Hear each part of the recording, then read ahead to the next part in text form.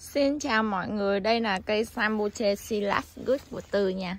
Cái này lý do tại sao mình nên trồng cái giống này nè mọi người Tại vì cái giống này nó ra rất là nhiều trái. Lúc nào nó cũng có trái hết cho mọi người thấy không?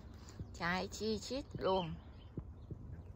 Đối với Tư cái cây này là dễ đậu trái nhất Và cái năng suất trái của nó cũng được nhiều nhất có nhiều loại đó nó đậu chỉ được vài trái thôi nó không có đậu nhiều. Còn cái cây này khi mà mình trồng xuống đất đó nhiều khi nó đậu cả chùm trái luôn. Đó, nó không có phải leo que vài trái. Đó, mọi người thấy không? Nó ra cả chùm cả chùm vậy đó. Mà nó ra nguyên một cây luôn. Cái cây này của tư bự lắm. Quá trời. Ai mà trồng sambuche đó thì cái à, sambuche này hoặc là mình trồng anano cũng được. Còn cái cây hát già đó thì khoảng 5 năm mình trồng xuống đất 5 năm á, thì nó mới đủ cái sức mạnh để nó đậu trái tại cái cây nó hơi khó hơn một chút. Nhưng mà cái cây hát già đó thì cái trái nó rất là bự và nó cũng rất là ngọt. Nó ngọt hơn cái Silas Good này mà trái bự hơn rất là nhiều. Nhưng mà thường người Việt Nam mình thì người ta thích Silas Good cốc hoặc là Anano. Ít người trồng hát già hoặc Monix nhưng mà cái hát già và cái monix thì cái cây nó rất là dễ chăm sóc. Nó không có mất thời gian nhiều khi chăm sóc tại hai cái cây đó nó rất là ha đó,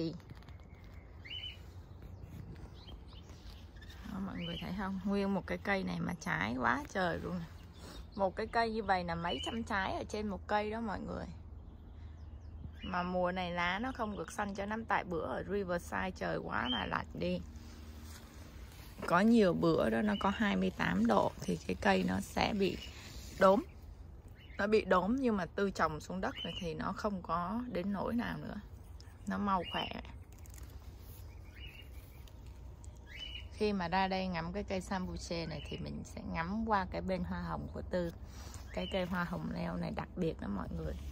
Nó thơm lắm.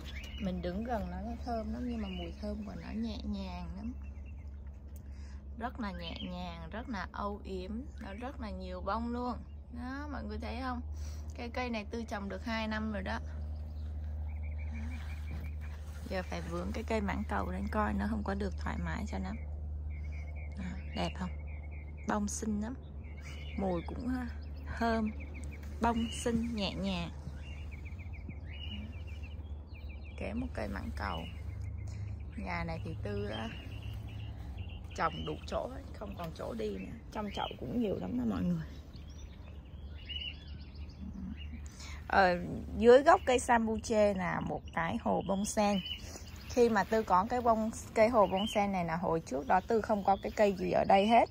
Là tư trồng cái hồ bông sen này 100 gallon nhưng mà sau này tư trồng một cây mãng cầu cái tư nghĩ mãng cầu nhiều quá nhà tư ăn cũng không hết cái tư đào lên. Tư trồng cây sambuche xuống thì cây sambuche này thực ra khi mà mình có một cái hồ nước nhỏ ở dưới đó nó sẽ tạo cái độ ẩm cho cái cây. Thì cái cây nó sẽ rất là mạnh và nó sắc phát triển tốt.